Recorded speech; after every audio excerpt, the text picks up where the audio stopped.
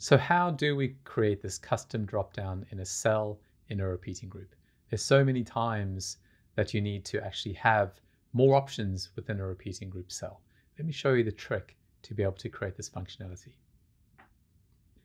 So what we're looking for here is when we click on this, these three dots, which signifies um, options, we want a basically a custom dropdown to appear that we can interact with. So that would be perhaps edit this row or delete the row or, or some other option. So I've gone ahead and created this in advance. Here is the icon we're going to be using. And what I'm going to do is I'm going to right click on this icon. I'm going to say group elements in a group. I'm just going to drag this out slightly so I can see. Okay, I'm going to call this group option.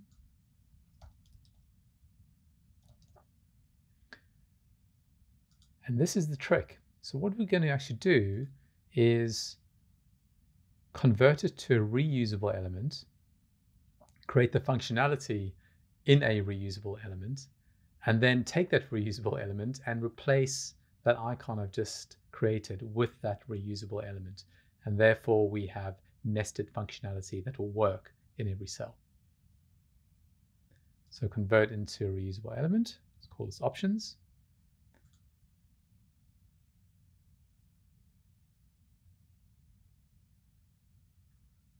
Okay, now I'm going to grab a group focus, draw it about that big.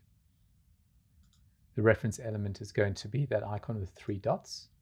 And I'm just going to shift this up a bit. So will 100 do? Actually, this is too big. 110. Let's make this 100 by 60. Let's remove that. I'm just going to style this very quickly, so hang in there just so, yep, that's fine. Five, corners of five, um, white background, and let's just give it a shadow style so we can see it. Spread of four. All right, I'm speeding through this because it's not as important as the desired functionality. Okay, I'm happy with that. And then basically we just create our options within this group focus. So this, perhaps this says view.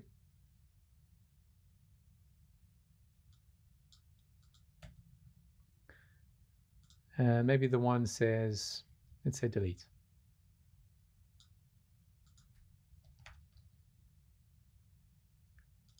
And then when we click on one of those, you know, something happens.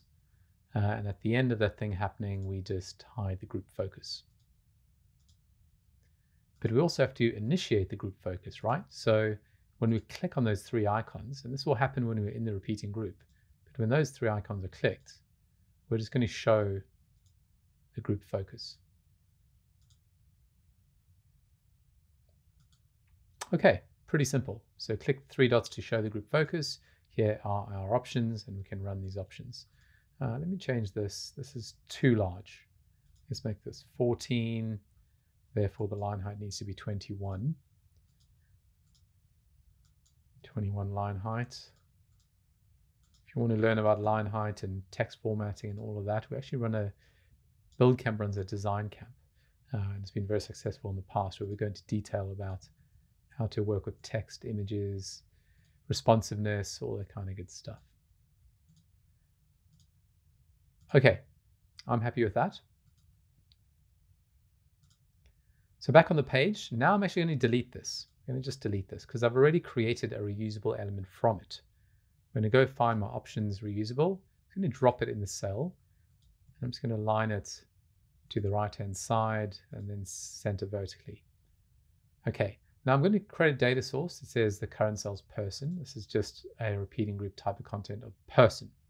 That means we can feed through any data that we need. If that pop-up interacts with user data, uh, which it will, right? If you're viewing, you need to view a particular person, we just need to make sure that that's passed through uh, this reusable element. Okay, great. Let's try this.